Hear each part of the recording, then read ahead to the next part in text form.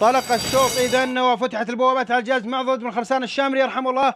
أحد الرواد الذين دخلوا الرياض مع الملك عبد العزيز. طيب الله ثراه الشوط الثاني على مسافة ال 2000 أو مسافة ال 1400 متر التقدم يأتي في هذه الأثناء من نجم الديرة فيما يأتي من الخارج النحال ليتمكن من المركز الأول والمنافسة القوية في هذا الشوط.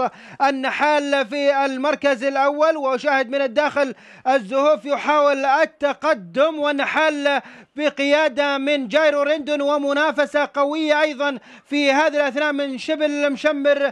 إذا النحال يتقدم بكل قوة وأشاهد التقدم من نجم الديرة يأتي في هذه الأثناء. نجم الديرة متقدما والمنافسة القوية من الزهوف من الداخل الزهوف من الداخل. وأيضا نجم الديرة من الخارج والمنافسة القوية في هذا الشوط الجياد والأفراس التي لم تربح في مشاركاتها السابقة. المنافسة القوية تبدأ وال 400 متر الأخيرة الزهوف من الداخل يحاول التقدم وتسجيل فوزه الأول فيما من الخارج.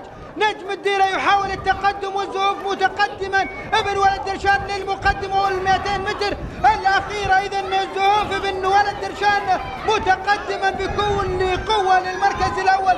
ما شاء الله تبارك الله إذا الزهوف ابن ولد درشان متقدما ومسجلا.